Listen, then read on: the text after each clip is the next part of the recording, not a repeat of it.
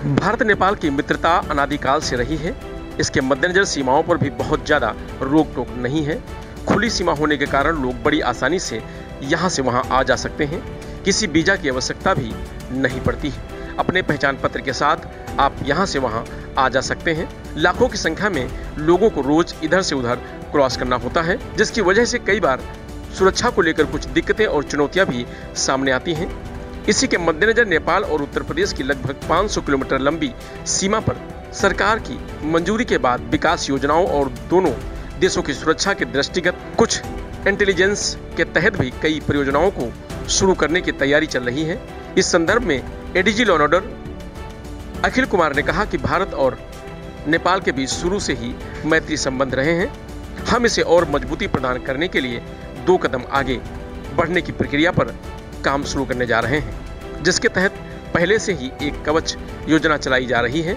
इस योजना को और विस्तार देने की प्रक्रिया में दोनों देशों की सीमा पर सुरक्षा के साथ ही कुछ विकास परियोजनाओं के संदर्भ में सरकार द्वारा मंजूरी मिलने के बाद काम शुरू किया जाएगा, ताकि दोनों देशों की मित्रता सहित सुरक्षा को और आगे बढ़ाया जा सके।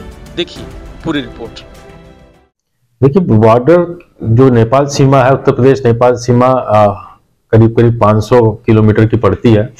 और चूँकि हमारी सीमा एक खुली सीमा है, हमारी जो महत्वपूर्ण रिश्ता है हमारे और नेपाल के बीच में तो ये सीमा खुली है, यहाँ कोई बहुत ज़्यादा वीज़ा की ज़रूरत नहीं है, आप आइडेंटिटी लेके क्रॉस कर सकते हैं। और यही एक चुनौती भी बन जाती है, जब इतनी खुली सीमा है, लाखों की संख्या में लोग प्रतिदिन क्रॉस आगे पीछे कर रहे हैं तो ऐसे परिवेश में चुनौतियाँ बड़ी हो जाती हैं। उसको लेके एक इंटीग्रेटेड व्यवस्था हम लोग कवच योजना अभी हाल में पिछले कुछ दिनों में लागू भी किया है। कवच योजना के तहत में जो हम सिक्योरिटी ओरिएंटेड अप्रोच था हमारा, वो तो जारी रखा हुआ है, जिसमें हमारे सेंट्रल और स्टेट एजेंसी अपने अपने दायित्वों का निर्वाहन कर रही है, अच्छे ढंग से निर्वाहन कर रहे हैं।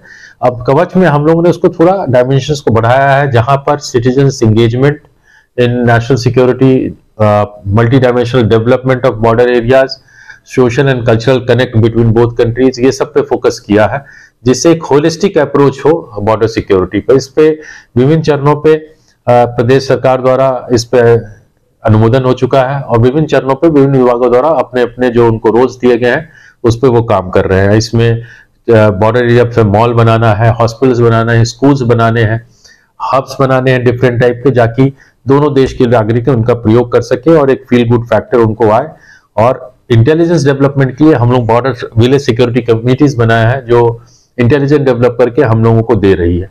तो ये कुछ स्टेप्स हैं, जिसके तहत जो हम एग्जिस्टिंग मैकेनिज्म था, उसको हम लोग फर्दर स्ट्रेंथन किया है बॉर्डर एरिया विश्वास वही, रफ्तार नहीं